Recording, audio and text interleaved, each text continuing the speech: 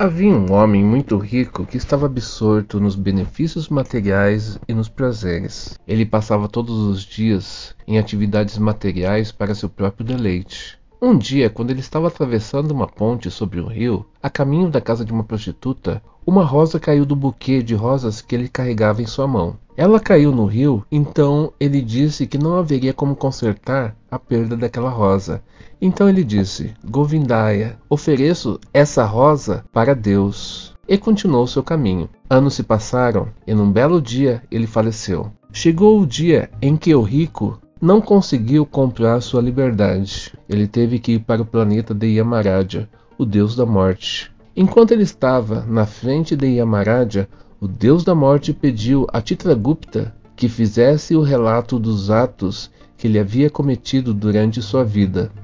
Chitragupta respondeu que ele passou a vida toda cometendo muitas atividades pecaminosas e ele precisaria passar um bom tempo no inferno.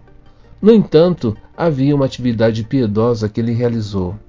Yamaraja ficou espantado e o homem também, e ambos quiseram saber qual foi essa boa ação. O homem foi informado que uma vez, durante sua vida, ele havia oferecido uma rosa ao Senhor Supremo e isso permitiria que ele passasse dez minutos no céu.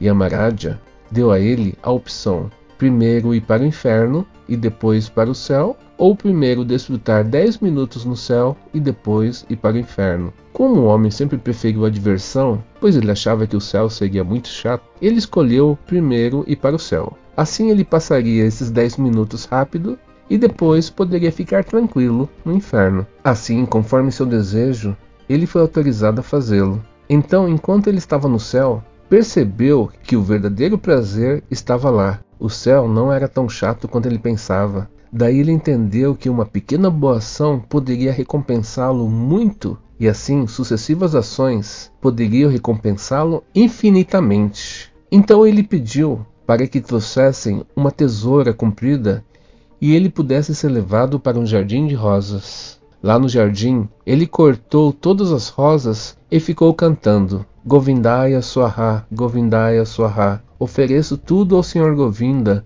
ofereço tudo ao Senhor Govinda. E essa atividade piedosa feita por ele anulou todas as atividades pecaminosas que ele havia feito durante sua vida, e ele foi autorizado a permanecer no céu para sempre.